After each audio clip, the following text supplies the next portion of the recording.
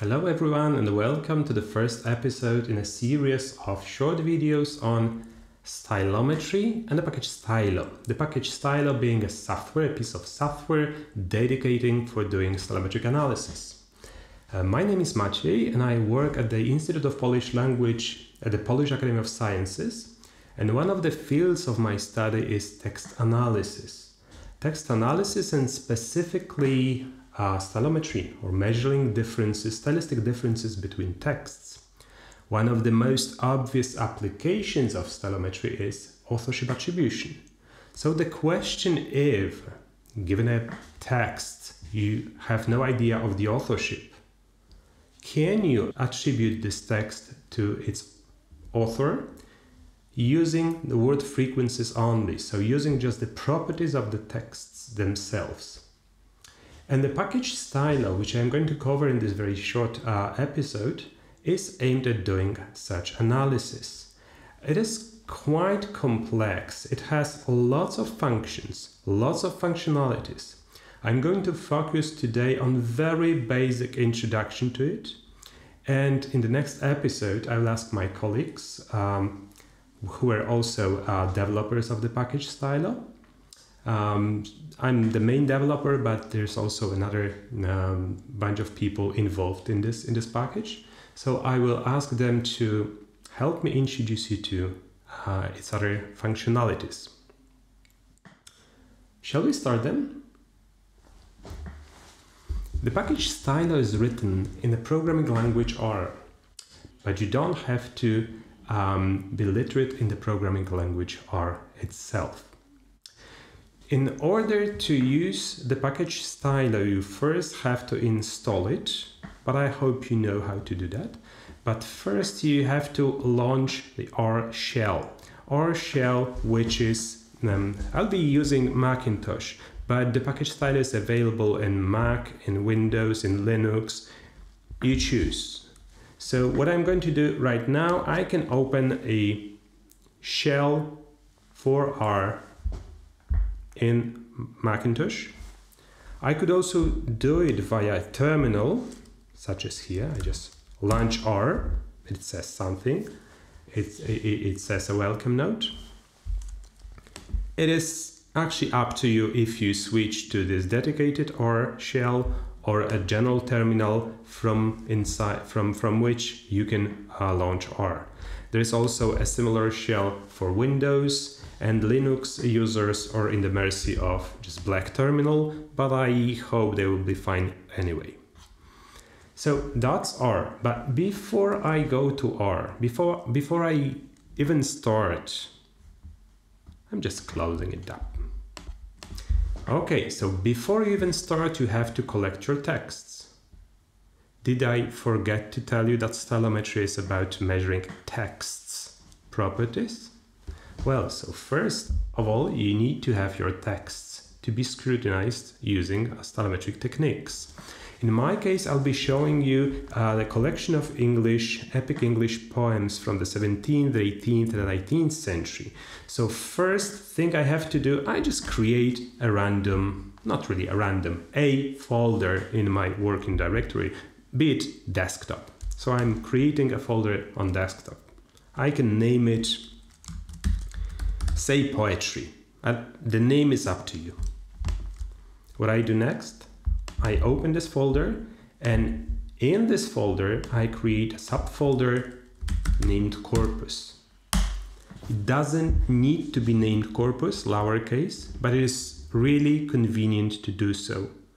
Then you save lots of time and other uh. You don't, you don't have to use any additional parameters. This is the default setting. So we create a folder containing a subfolder named corpus lowercase. Then you go into this subfolder corpus and you put your texts in there. The texts should be, I've prepared a bunch of texts here. The text should be just raw text files. As in this case, just letters, you know, just no formatting, no anything else, just a text. And I've got a collection of like 20, 20 something of those texts. So I'm going to do right now, I'm just copy copying the entire collection and pasting it into my corpus subdirectory. So my entire setup looks like that. I've got a directory poetry containing a subdirectory corpus into which I put my texts.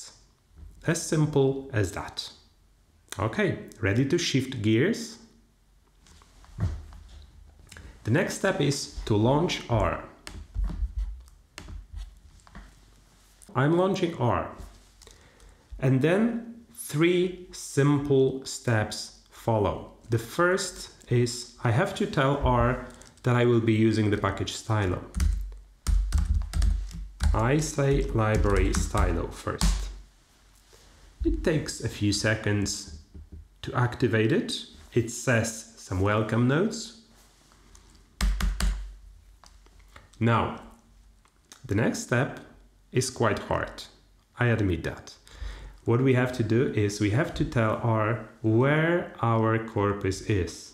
So we have to point it to the working directory poetry that I've just created.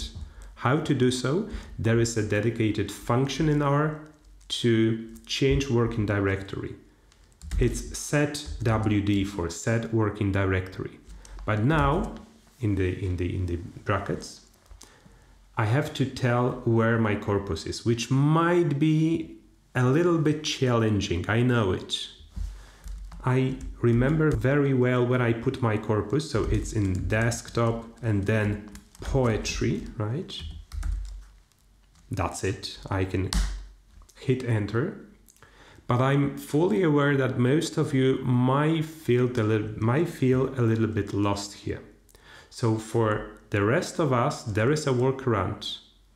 On Macintosh, you go to miscellaneous, MISC, and then you click change working directory and you can choose your directory from, as in my case, desktop, poetry, right?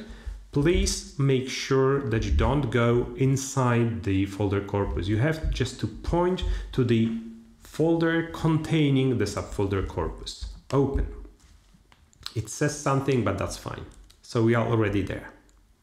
There is a bunch of very useful comments to check if you're really there, but I, I just assume that we don't have to learn R from scratch right now. So that was the second step. The first was to load the library stylo. The second step was to set the working directory to make sure that R is where our corpus is. And now the third step is super simple. Just type stylo and the empty brackets. In the empty brackets, you can provide some additional arguments, but we don't do it for the time being. We just go the simple way.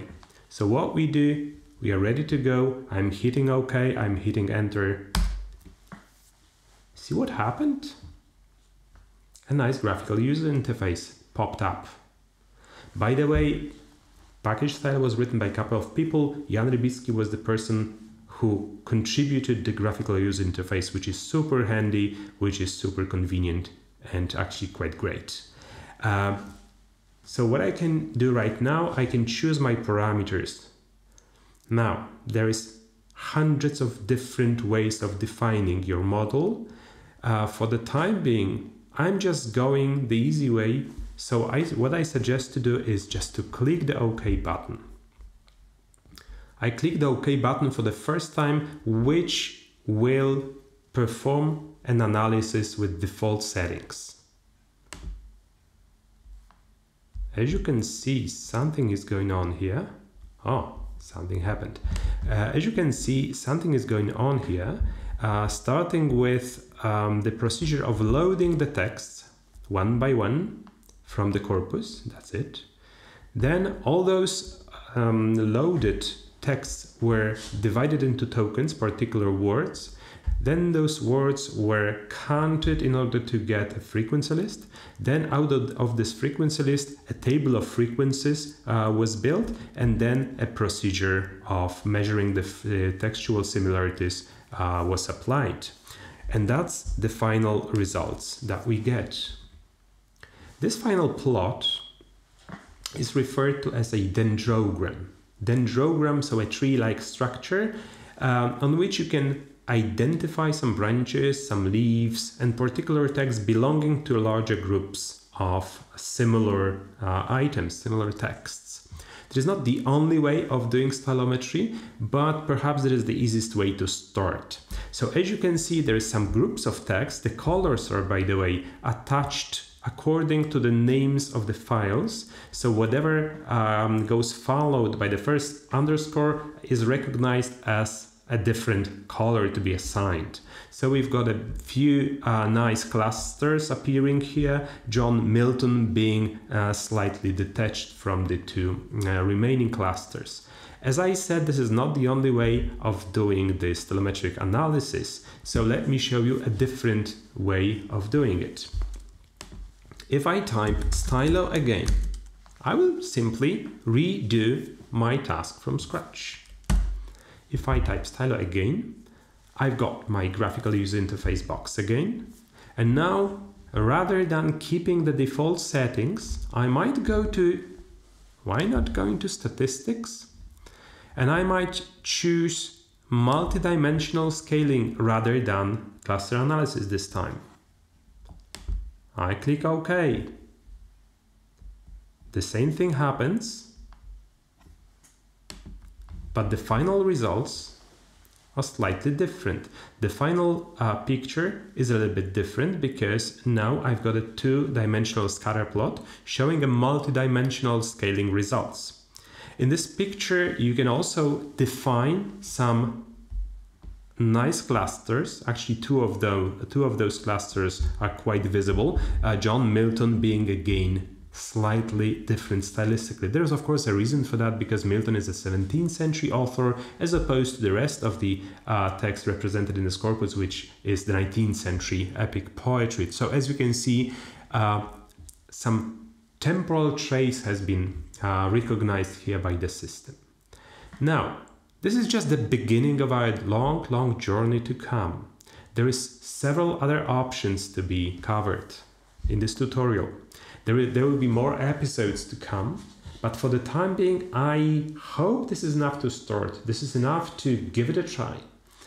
Uh, so I hope you will find uh, the package stylo useful and uh, I welcome to watch next episode. I, I hope you like that one and um, I hope to see you again quite soon. Thank you very much. Cheers.